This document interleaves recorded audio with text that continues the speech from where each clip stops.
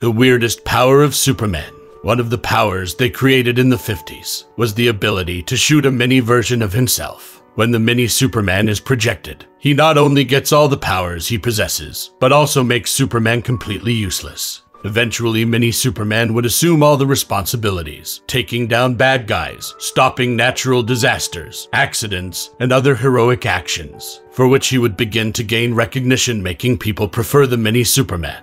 The funniest thing about this is that Superman would start to be jealous and would end up thinking of an idea to get rid of him. Knowing it would be lethal to Mini Superman, he would send him on a suicide mission to stop a meteorite made of kryptonite. After deflecting the kryptonite from Superman's trajectory, the mini version would begin to fade out and cease to exist. And after having killed him, Superman would regain all his powers.